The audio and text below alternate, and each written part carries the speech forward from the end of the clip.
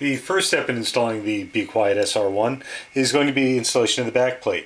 Uh, the backplate is going to obviously go up against the back of the motherboard and screws will go through uh, the proper holes. Now if you look it's a one size fits all Intel and AMD so you're going to need to use the proper holes for the mount you're using. Most common Intel are uh, in the corners, three holes, 11, 1366, 1155, 56 and 775. So you're just going to put the screw through the correct hole and through the motherboard. Obviously all four screws right on through. Now something to keep in mind, um, the kit does come with plastic washers which are shims for, to, for better uh, pressure, higher pressure. However, it distinctly tells you in the manual do not use them with 1155-56 as it will take the pressure out of spec for the motherboard.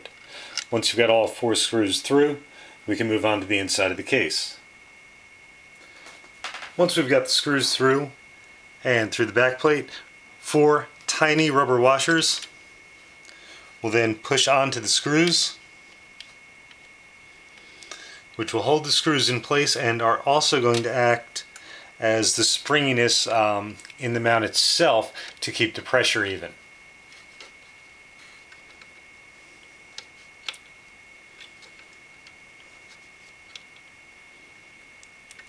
And after they're on, the back plate is in place and will stay somewhat secure for you while you're working. With the mounting system in place, next we're going to mount the cooler itself um, I have fixed the mounts onto the cooling block itself, the contact block.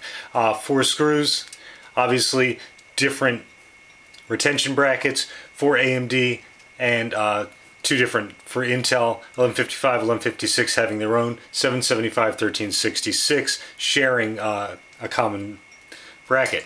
Now, the placement of the cooler itself is very important. You never want to have the pipes facing down. Pipes, ideally, if you can fit it in your case, you want them facing up. And worst case scenario, you can do a side-to-side -side mount. Uh, in this case, it will fit up, so we're going to do it that way.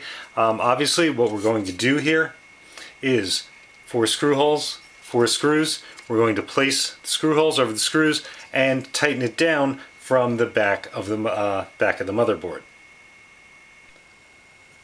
After you've tightened it down, installed in the case, the uh, Be Quiet Shadowrock SR1 uh, top flow has a great look.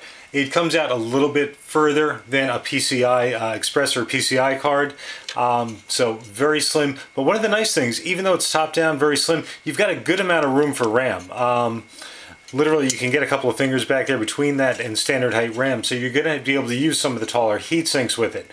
And uh, obviously all four slots are open. Uh, with standard height RAM you have no problem putting uh, taking RAM out or putting it in with the cooler installed. So Be Quiet SR1 top flow uh, good looking installation. Not the easiest installation in the world you do have a little trouble you know lining it up the four screws. Uh, a lot of people have expressed you know difficulty um, I've done it quite a few times. It only takes me a minute. I find if you start one screw, which you can see, you'll be able to get the others in very, very quickly. As soon as you have the second one lined up, the other two just fall right into place. So it's really not a painful installation at all. Um, very secure installation and as always from Be Quiet, a really polished looking cooler.